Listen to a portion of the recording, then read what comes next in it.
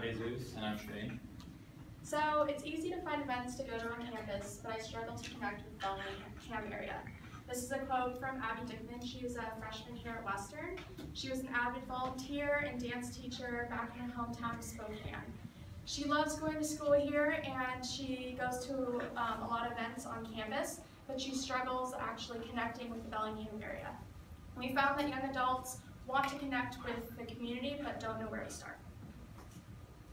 Of those we surveyed, 90% said they would want to be involved in community health. So we found that our user really wants to connect with the Bellingham area, but doesn't know where to look. Yeah, so with that, uh, we actually surveyed 126 people, and the majority of them we found to be Western College students in this kind of 19 to 22 age range. And as you can see, a lot of them enjoy hiking and going to the gym. So kind of this group of people who are young, active, into the outdoors, but kind of lack relationships with their local community, and also lack relationships with children in the kind of community. So then to that, you also have another kind of consumer base, which is the local community, which is kind of lacking these mentorships from college-age students who live the healthy lifestyle. And um, yeah. So for subs and alts, there are substitution alternatives to our brand. So a few of them are Usana, Tom, WW's Compass Campus. And secondly, all of these, besides Compass Campus, are clothing accessory brands, which also too feed into a greater cause, which is kind of what we're doing. But we're focusing more on the um, health aspect. So, yeah, so with that, there's kind of these three kind of uh, cornerstones that we found. First is the community. Uh, like we said earlier, we have these group of consumers that are young that need to interact or want to interact and find a struggle with interacting with the community.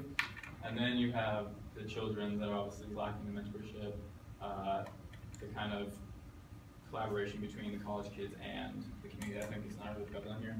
And then you have health, which obviously for our consumer base of college kids are very into it and they like doing healthy things and they have the experience and expertise to help with the local community and especially local children to help kind of with the prevention. And then to the future, as a consumer of the brand, helping with these events, you would be kind of establishing a good foundation for these children going forward to live healthy lives.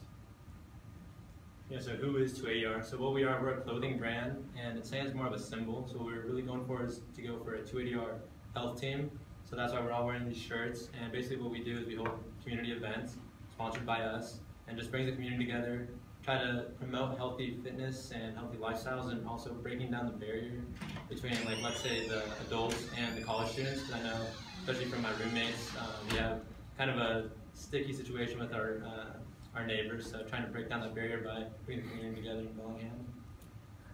So yeah, so we sell our shirts for $20 a piece. So 25% goes to actually sponsoring our events. 25% goes to other local um, foundations that also feed into similar things like that. And our events go from either kickball or to even cooking events to just show that show the youth that cooking and eating healthy and um, being active is fun and easy.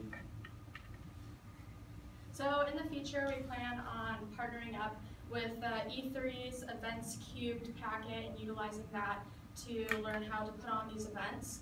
Um, in addition, we realized that our outreach to parents and children is very slim right now, so we plan on talking to Compass to Campus to really understand how they partner up with the schools and they get parents on board with these type of programs. And is our team. So on the far left is Nate, who actually I started the company with before the quarter started. Then we have Michaela, who's also our marketing and business, who is also a photographer. And myself, who is industrial design and graphic design background.